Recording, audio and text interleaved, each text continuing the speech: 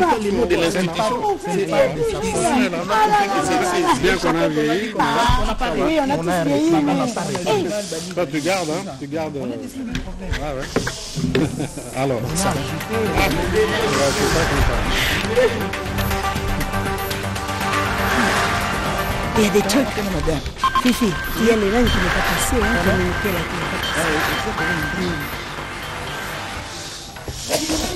Compte rendu de la 111e réunion du Conseil des ministres. Le président de la République, chef de l'État, a présidé ce vendredi 1er septembre 2023 à la Cité de l'Union africaine, la 111e réunion du Conseil des ministres.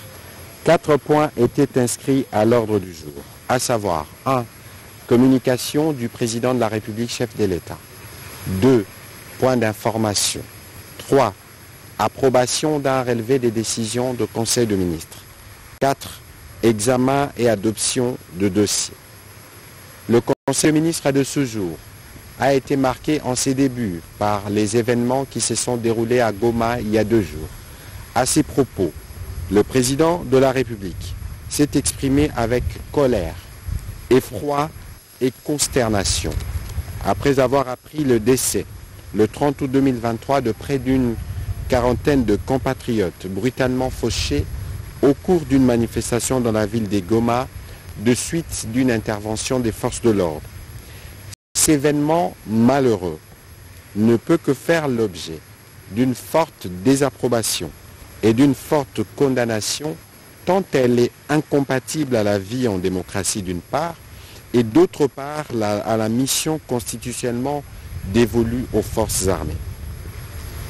Le président de la République a appelé la justice à faire la lumière sur ces drames et d'établir rapidement les responsabilités tout en soulignant que ces drames ne peuvent pas et ne demeurera pas impunis.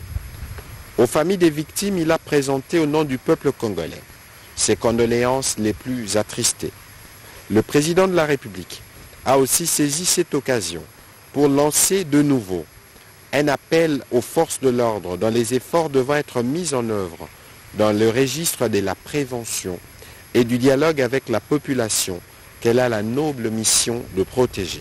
Enfin, il a instruit le vice-premier ministre, ministre de l'Intérieur, Sécurité et Affaires coutumières, le vice-premier ministre, ministre de la Défense nationale et ancien combattant, ainsi que la ministre d'État, ministre de la Justice et garde des Sceaux, de lui faire rapport dans le plus bref délai sur les circonstances qui ont mené à cet effroyable drame et pour que très rapidement des sanctions sévères puissent être prises contre tous ceux qui ont été responsables de ces tristes événements. Le deuxième point de la communication du président de la République, après avoir abordé ces tristes chapitres des événements de Goma, a porté sur l'implication du gouvernement dans la consolidation des entreprises du portefeuille dans les secteurs aériens. Le président de la République est revenu sur la situation du transport aérien, qui est actuellement marquée, d'une part par une accentuation du déséquilibre entre la demande de trafic domestique de plus en plus croissante et une offre de plus en plus précaire, et d'autre part par l'inexploitation des lignes internationales, occasionnant un manque à gagner important du fait de la non-utilisation par notre pays du portefeuille des droits des trafics internationaux, lui pourtant garanti et consacré par plus de 52 accords aériens et ceux au profit des compagnies aériennes étrangères. Pour y faire face, le président de la République a rappelé que la réponse du gouvernement s'est articulée sur deux axes. Le premier axe qui porte sur la relance des activités de Congo Airways par la mise en œuvre du plan d'urgence tel qu'adopté par le gouvernement et la finalisation du projet de création de Air Congo en partenariat avec Ethiopian Airlines, conformément au dossier irrélatif adopté au cours de la 49e réunion du Conseil de ministres. Au regard de l'urgence, le ministre d'État, ministre du Budget, ainsi que les ministres des Finances ont été instruits à s'activer pour la mise à disposition des fonds sollicités pour soutenir la mise en œuvre du plan de relance de la compagnie nationale Congo Airways. Par ailleurs, le président de la République a demandé au ministre d'État, ministre du Budget, ministre d'État, ministre du Portefeuille, ainsi qu'au ministre des Finances, chacun en ce qui le concerne, d'accorder les bénéfices de l'urgence à la réalisation du projet Air Congo.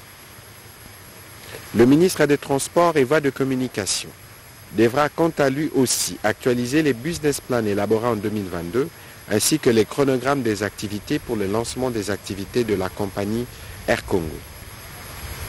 Le troisième point de la communication du président de la République a porté sur la nécessité d'une meilleure coordination des interventions des projets de programmes agricoles financés par les gouvernements et les bailleurs de fonds. Le président de la République a rappelé que plusieurs projets, programmes et initiatives qui ont été lancés dans les secteurs agricoles depuis plusieurs années, dans notre pays sans trop de succès, malgré les ressources financières qui ont été mises à disposition. Nombreux de ces projets ou encore programmes n'ont pu connaître une pleine exécution. Cette situation qu'il a déplorée devrait nécessairement être revue en veillant à ce que ces projets soient bien mieux structurés tel qu'il est attendu du projet présenté par le ministre de l'Agriculture au cours du Conseil de ministres du 12 mai 2023. En effet, au-delà des interventions des composantes 1 et 2, touchant les secteurs agricoles prévus dans le programme de développement local de 145 territoires, il a été présenté le dossier relatif à la relance des filières agricoles et le ramassage de produits vivriers disponibles dans les bassins de production de notre pays. Ces programmes concernent 12 cultures vivrières et agroalimentaires. Pour une meilleure cohérence, coordination et synergie, il importe que ces programmes prennent en compte les interventions d'autres projets, programmes et sites de production agro-industrielle existants.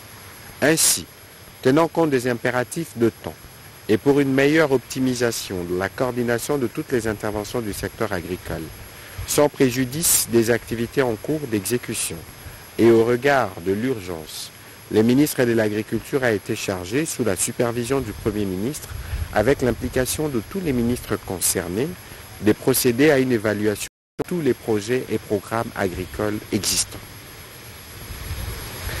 Le quatrième point de la communication du président de la République a porté sur la valorisation des actifs environnementaux de conservation de la nature. La République démocratique du Congo est l'un des six pays dits méga divers détenant le plus grande richesse en biodiversité de la planète. Les aires protégées couvrent actuellement 323 623 km, soit environ 14% du territoire national.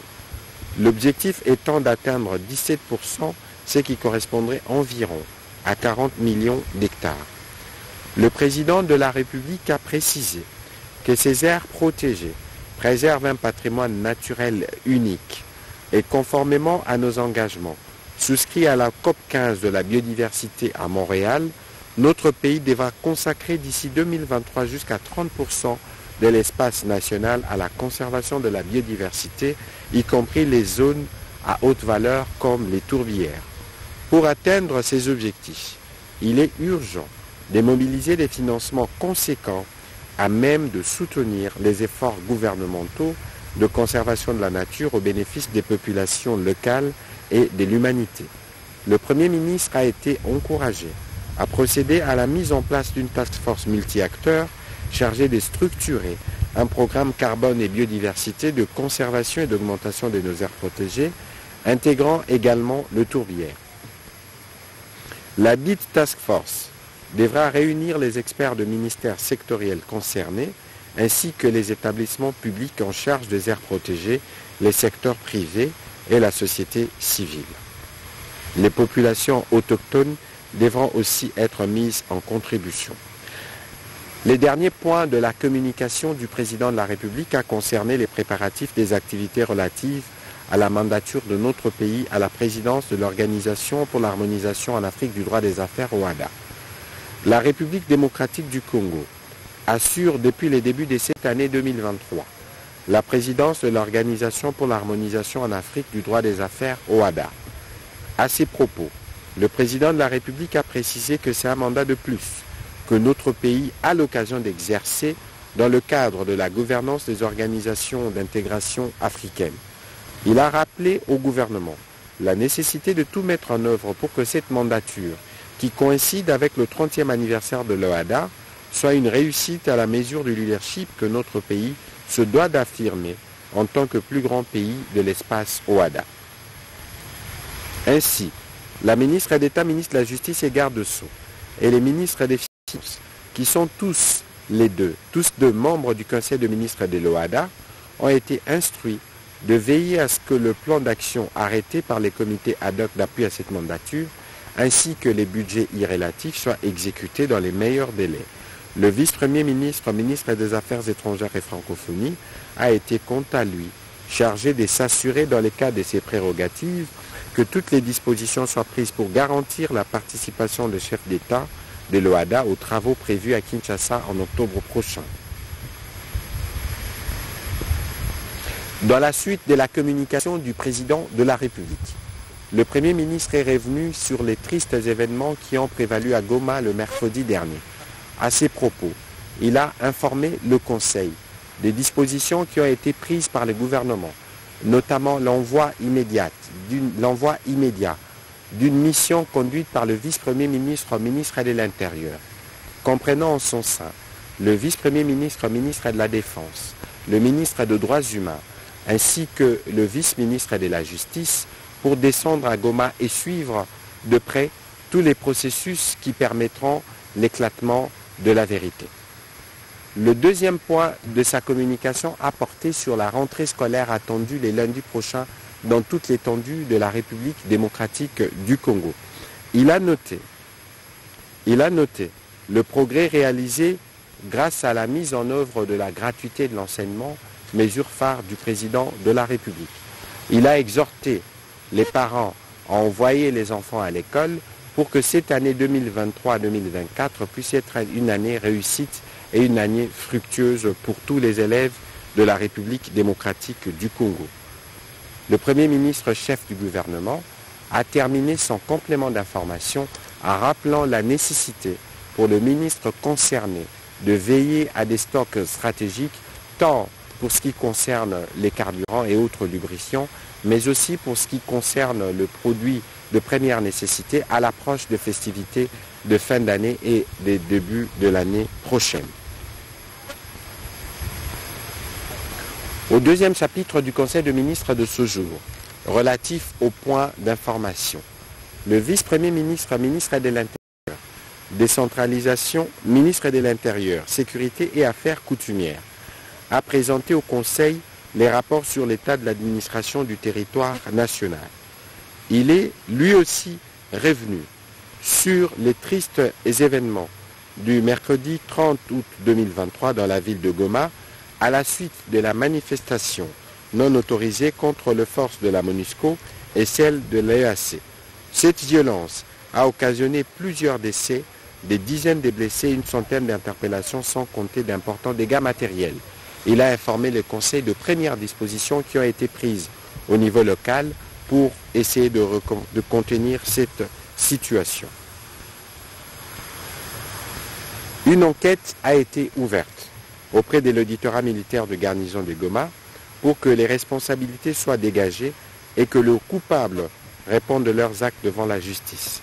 Les services de sécurité ont pour leur part été formellement instruits, tous, à collaborer avec la justice militaire dans la collecte des éléments des preuves.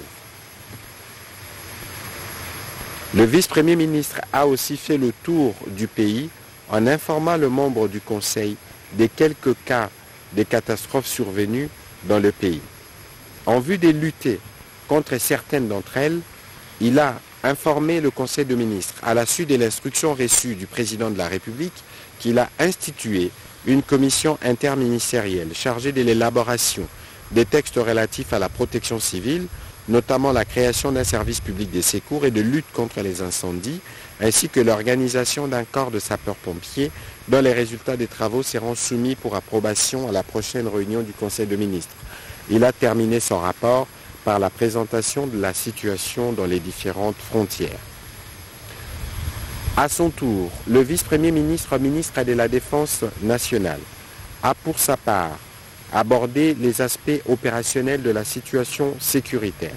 Il a passé en revue certaines opérations en cours dans les provinces sous état de siège et des efforts qui sont déployés par nos forces armées pour contenir et gérer la situation sécuritaire dans la partie de Kwamut et à l'ouest de la ville-province de Kinshasa. Préparatif du sommet des chefs d'État sur l'objectif de développement durable 2023. La ministre d'État, ministre du Plan, a présenté au Conseil la note d'information relative aux préparatifs du sommet des chefs d'État sur les objectifs de développement durable 2023 ainsi que la feuille de route y. Pour une mise en œuvre efficace de l'agenda 2030 sur les objectifs de développement durable ODD, les Nations Unies ont préconisé un suivi et un examen systématique. La ministre d'État, ministre du Plan, a indiqué que le deuxième sommet des ODD se tient exactement à mi-parcours de l'agenda 2030, qui sera également suivi du sommet du futur en 2024, qui s'appuiera sur les résultats du sommet des ODD et dynamisera la mise en œuvre de l'agenda 2030. Il offre une occasion unique d'échanger fondamentalement des caps pour se tourner vers l'avenir et s'orienter vers l'action dans le but d'accélérer le progrès.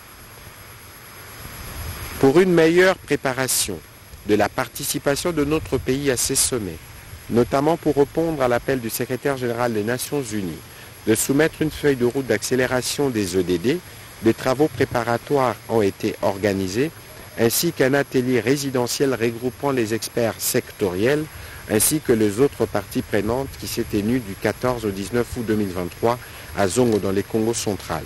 Ces travaux ont permis de produire un premier draft de feuille de route d'accélération des ODD en République démocratique du Congo.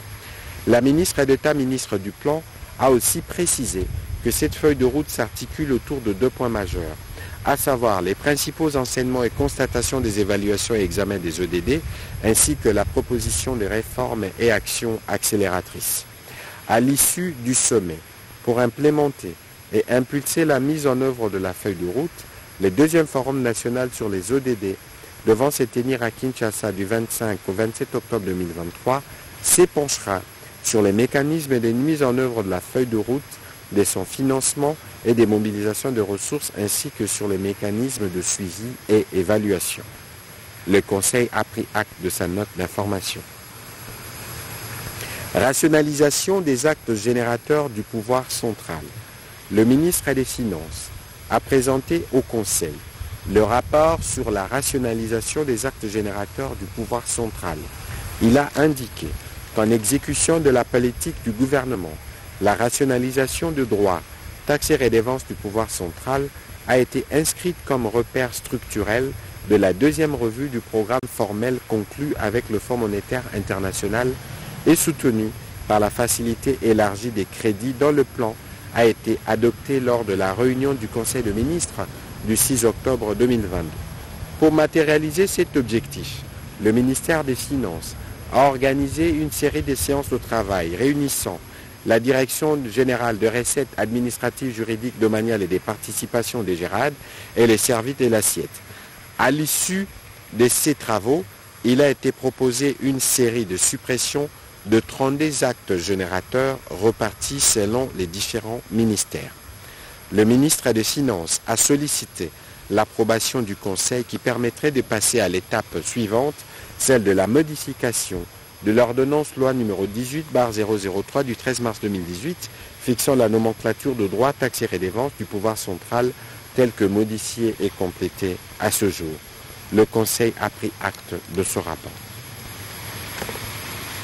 Toujours sur ces chapitres de points d'information, la ministre du Travail et Prévoyance sociale a présenté au Conseil le rapport sur les déroulements des élections syndicales dans les différents établissements et entreprises.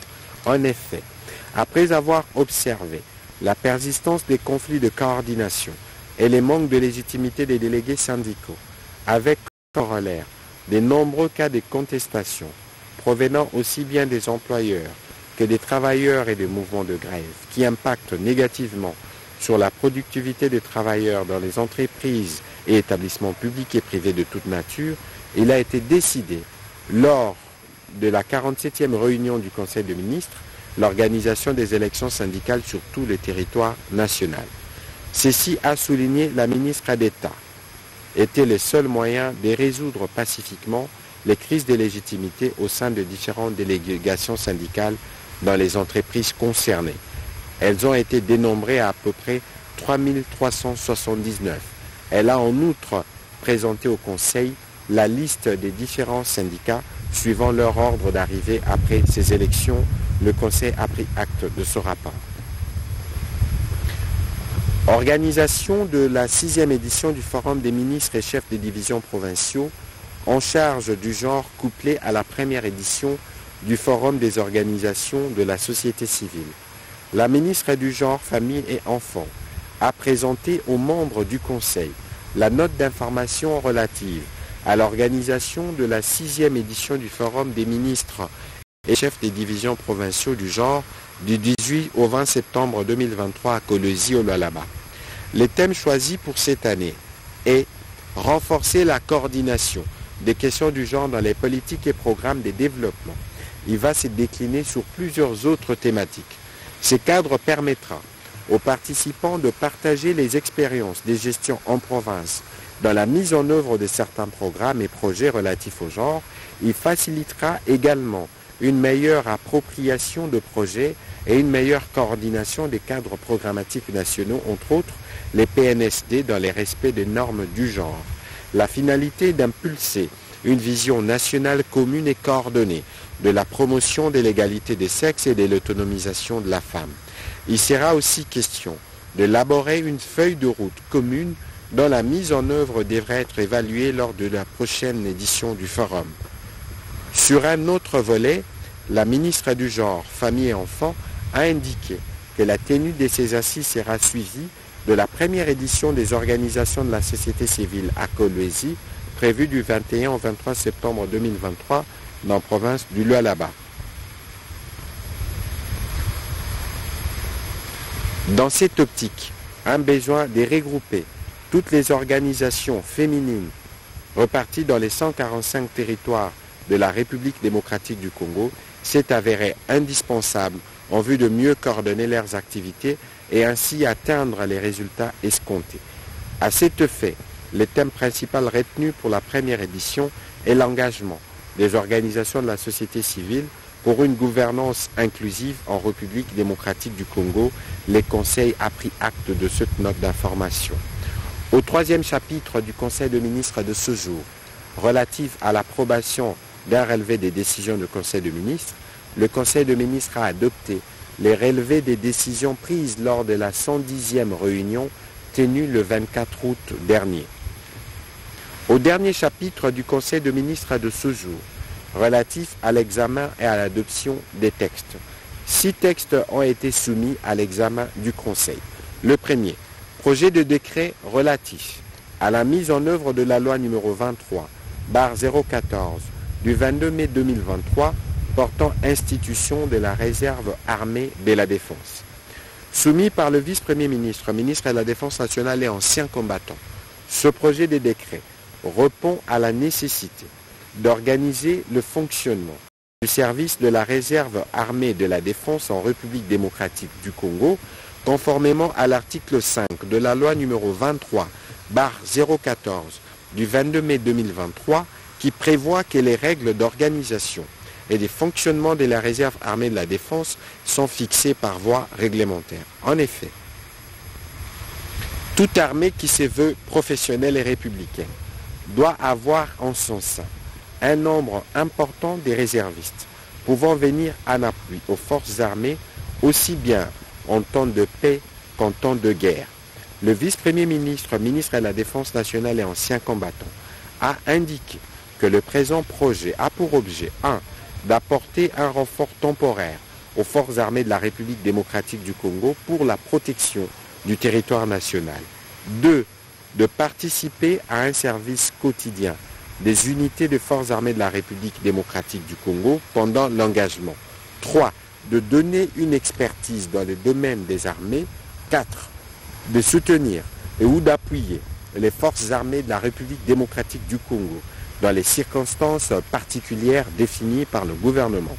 Il a précisé que ce projet de décret statue sur l'admission et la perte de qualité à la réserve, armée de la République démocratique du Congo, sur l'organisation et le fonctionnement, sur les traitements, sur les régimes disciplinaires ainsi que les dispositions finales. Il est d'une importance capitale pour le renforcement et la montée en puissance des forces armées de la République démocratique du Congo et surtout la diversification de ressources humaines pouvant défendre l'intégrité du territoire national.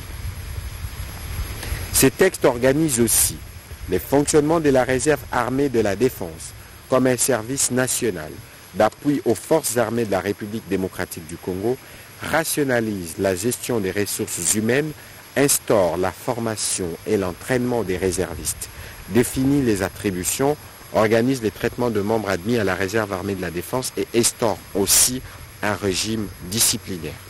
Après débat et délibération, ce projet de décret a été adopté. Deux textes du ministère de la Justice et garde de Sceaux. La ministre d'État, ministre de la Justice et garde de Sceaux a soumis au Conseil deux projets de texte pour examen et adoption. Premièrement, le projet d'ordonnance loi modifiant et complétant la loi numéro 6, barre 18, du 20 juillet 2006, modifiant et complétant les décrets du 30 janvier 1940 portant code pénal congolais.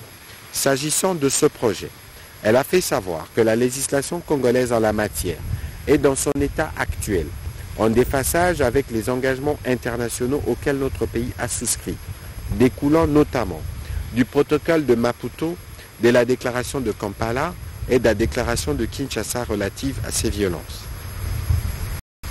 Au niveau régional, les États ont réaffirmé la commune volonté de lutter contre les violences basées sur le genre par l'adoption du protocole facultatif à la Charte africaine des droits de l'homme et des peuples relatif aux droits de la femme adopté à Maputo le 11 juillet 2003.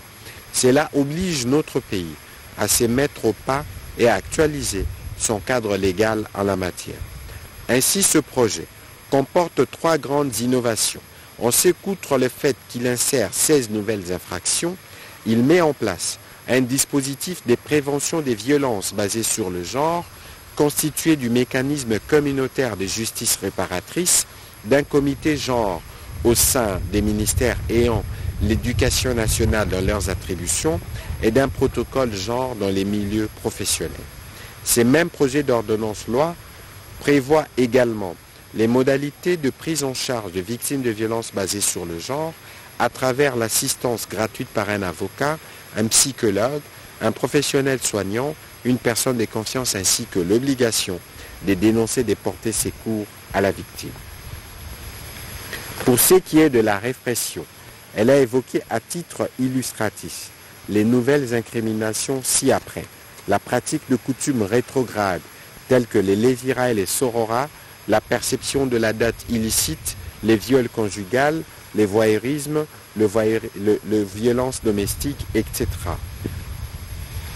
Deuxièmement, elle a présenté le projet d'ordonnance loi modifiant et complétant la loi numéro 6, bar 019, du 20 juillet 2006, modifiant et complétant les décrets du 6 août 1959 portant code de procédure pénale congolais.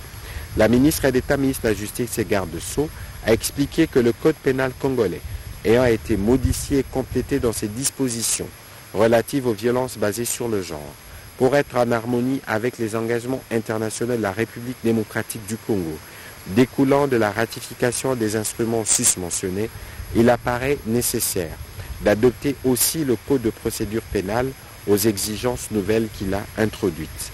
Ainsi, par ces derniers projets d'ordonnance loi, il est ajouté au Code de procédure pénale des nouvelles dispositions qui se rapportent respectivement à la gratuité des frais de procédure, à l'assistance gratuite par un conseil et au mécanisme des juristes de justice transitionnelle.